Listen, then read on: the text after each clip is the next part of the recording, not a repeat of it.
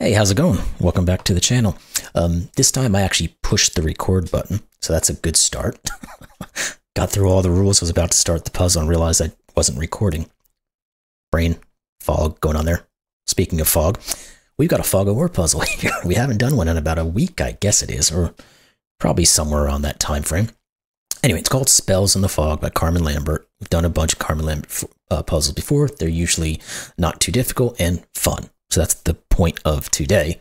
It's a Monday recording, so the brain is usually a little slow to start. So we'll start there. Let's jump into the rules of this guy and see what's going on. So note the Dutch whisper lines are purple. Now I know some people are going to uh, be annoyed by that, but I'm sure it has to do with um, the color palette um, working for a uh, for what this the look of this thing is going to be. So try not to get too upset that they're not orange. Uh, the cell with the yellow circle must be odd. Okay, apparently there's going to be a yellow circle here. Let's dive into the rules. Normal Sudoku, so every row, column, and 3x3 box will contain the digits 1 through 9 once each. Digits along a purple Dutch line must have a difference of at least 4. So let's say there was a Dutch line up here and it was purple these two digits would have to at least be four away from each other. The cell with the yellow circle must be odd. We said that already. Somewhere there's going to be a yellow circle. It will be odd. Adjacent digits along a green German whisper line must have a difference of at least five. So that's a normal German whisper color. So let's say there was a German whisper like this. These two would be at least five away from each other because they're adjacent on the line. Then it looks like we've got Kropkis. So a black dot indicates cell values with two to one ratio. That'd be these two or one of them will be double the other. So those two, those two that we currently see. A white dot between cells indicates cells with consecutive values. So we've got a bunch of those in here. So these two will be consecutive, these two, these two, etc., etc. And there's no negative constraint, so not all dots are shown. Now, an x between two cells mean they add up to 10. So it looks like we have the x portion of xv rules. So if there was an x between these two, they would add to 10. And then, of course, the board is covered in fog. Place a digit correctly and the fog will lift around it. So this looks like it's standard fog. So if we were to figure out this digit, all of the fog in here would dissipate and we would have more clues to work with. That's that. So nothing crazy, just a slight color change on one line. Um, most likely for the theme. So, uh, with that said, links in the description below. Let's get at this thing. Yes, I just had to again check to make sure I was recording. Let's get started on this thing. All right, let's start thinking about what's going on here. Because we can make reductions, I think, in here because we have so many uh, Kropkis here. Like none of these can be ones because of the multitude of twos you'd have to place everywhere. Now, these two can't be eights or sixes because they have to be consecutive. Eight and six are not consecutive with anything else.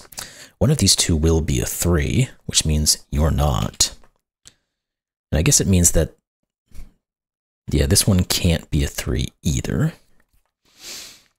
Uh, what else can we then say? What about, we got to be able to reduce these a little further, right?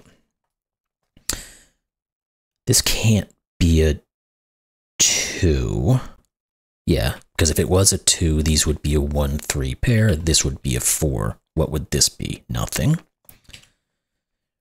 And it can't be 8 because we can't get back over to here because these three have to be in some consecutive order. So eight, seven, six, no go. Okay, that means this can't be a 4 anymore. Now, can we go any further? Can this ever actually be a 4? It'd have to have a 3-5 pair.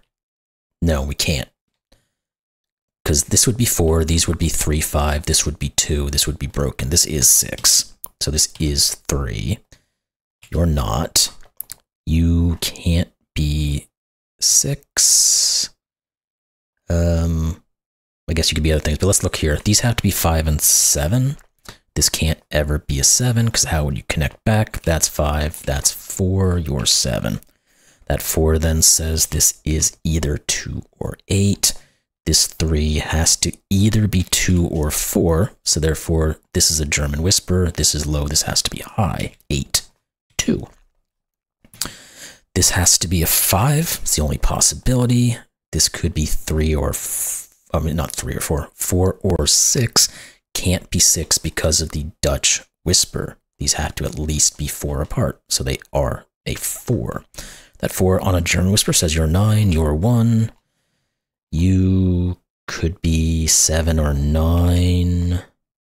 You could be two or three.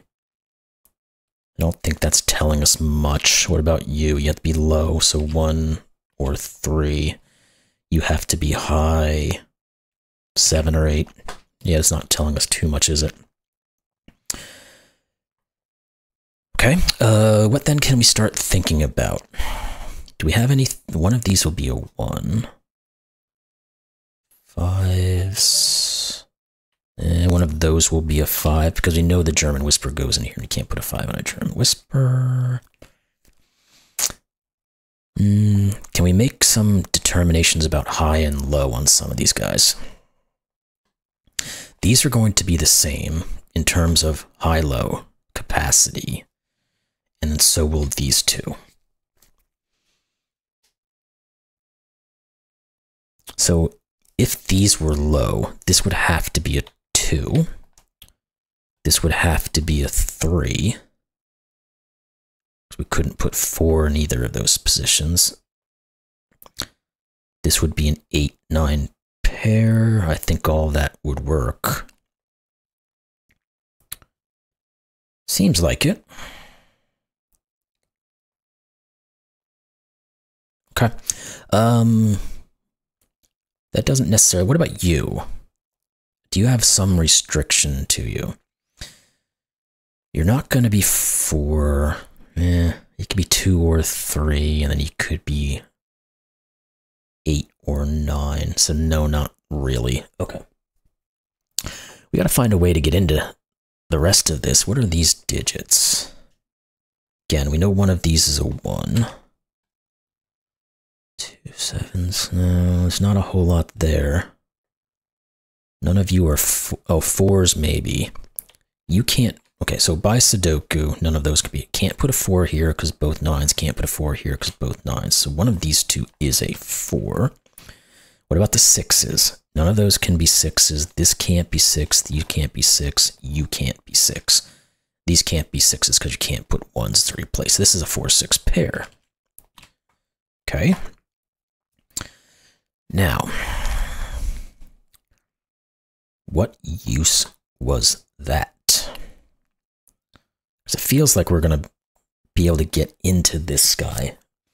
What are these digits? Maybe we just need to go down this line. 2, 3, 7, 8, and 9. You're not 7s. There's going to be some reductions here we can do. I just got to find the right place for it. Uh, no, you could be any of those. Three could work. Two could work. Eights and nines could all work. That well, that did a whole lot of nothing. Okay. Um, one of these will be a six. One of these will be a four. Again, how helpful is that? I don't quite know. Need two highs and two lows. I guess that means that these are always a 2, 3 in the low, so this can't be. Okay, so this has to be a 7. There we No, wait, one of these two has to be a 7. I didn't see this guy.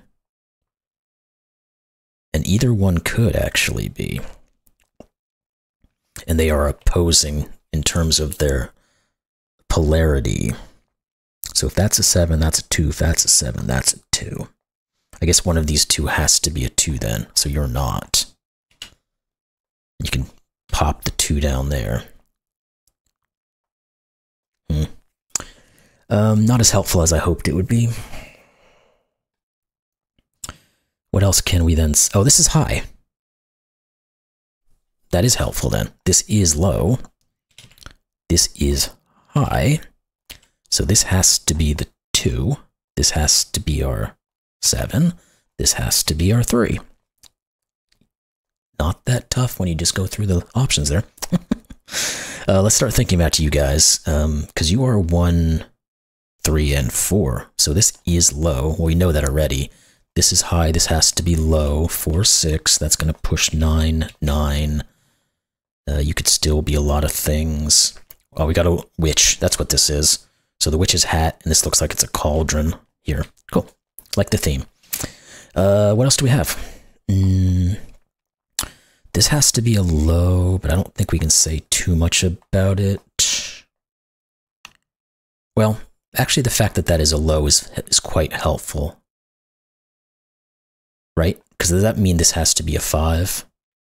Because we're starting at a high. We have to go to some digit, then forces us down to a low. Well, the only way to do that would be the intermediary of a 5. And then this would have to be a 1. Okay. Now, you have to be a high because we can't use the 5, 6, 7, or 8. You have to be, well, it could be low or a 5, so I'm not going to dive too much into that one. You have to be high and you can't be a 6. Uh, no, you could be a 6. We don't know if this ends here or not.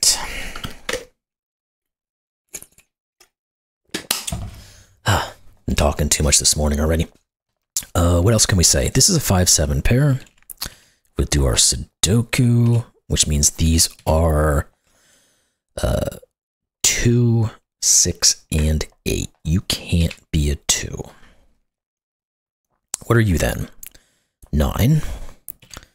You guys are, might as well put these in 1, 2, and 8. You're not 8. Okay. So, what is next on our list?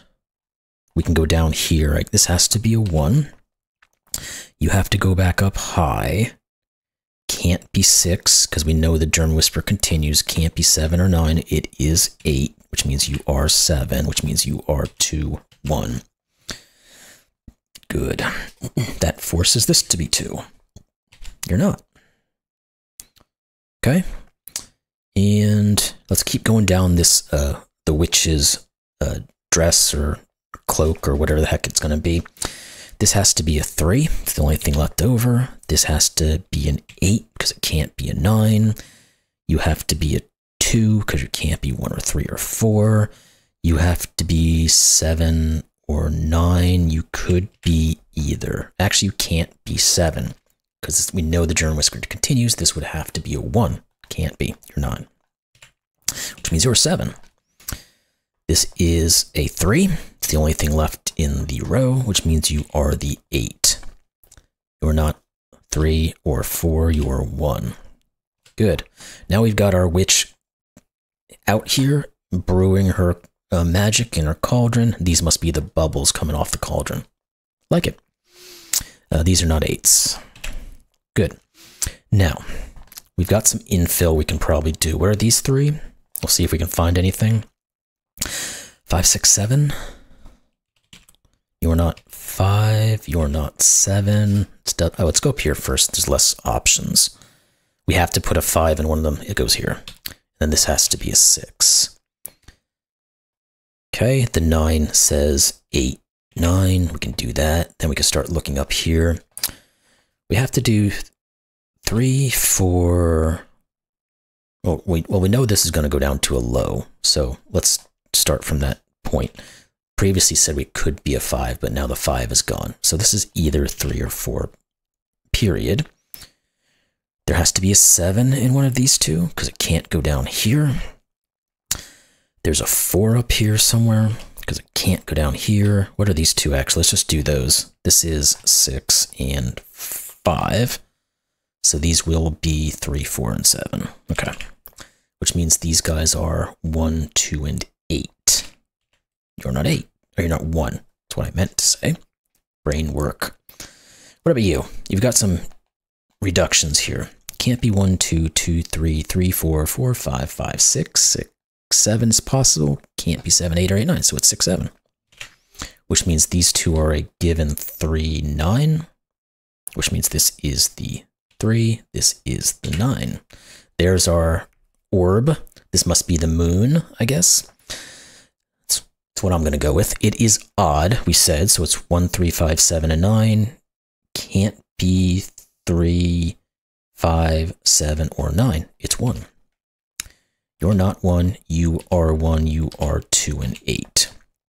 You're not 8. Did these guys correlate back? Not necessarily, but you will become the 8 and the 1. Good. All right. Where's the next best place to go? I think we're just into Sudoku now. Yes, we can place a 1 to finish those off. One of those will be a 2. One of those, no, nothing there just yet. Threes, not quite. I don't think we, yeah, none of these guys are telling us anything either. Fours, no. One of these is going to give us something. Okay, one of these is a five. I think that might give us something up here because none of these can be fives now. Yeah, that's a five. And one of, oh, this one right here is a five. So that means this is 6, 7, 5. Good. Now we can put the 4 and the 6. That's going to give us the 2 and the 6 and the 3 and the 4. 5, 7 is not quite determined. This is not quite determined. What are you two?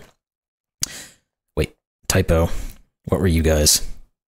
This was not a 6. This was a 5. That was just the typo. We needed the 4 and the 9. So this is 9, 4 put you in. I think you're four as well. Yeah, it looks like. Which means you're not. Seven. Okay, what are you guys? Two, three, and eight. I don't think we can finalize those, but we'll put them in. What are you, though?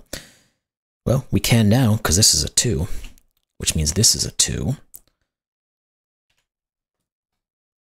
2, 3, 4. The oh no. The 6, 7 here means this is a 3, 4 left over. Can't be a 4. 3. 4. Okay. Uh, the 6. There we go. 7, 6, 3, 7, 8, 3, and we should just be able to finish these guys. Seven, five, seven. Uh, these two have to be from four and six. So this is the four, this is the six, this is the eight, this is the nine. There we go. Yeah, you completed the puzzle. If you got here via Logic Masters, click on the back arrow, see the picture without numbers, that's fine. Uh, for more fig uh, fog puzzles, go here. Cool. If you want to go do that, go ahead. Uh, about a thousand solves in nine days. Of course, they're always uh, approachable but fun puzzles. Uh, the witch is doing her thing. I'm assuming this was part of the, well, not necessarily part, but a um, a, a, Halloween type uh, puzzle that was set. We've we're gonna have a few of them still coming up, even though it's past that holiday now. But it is what it is. So anyway, again, fun puzzle. Hope y'all enjoyed it, and uh, we'll see you in the next one. Thanks a lot.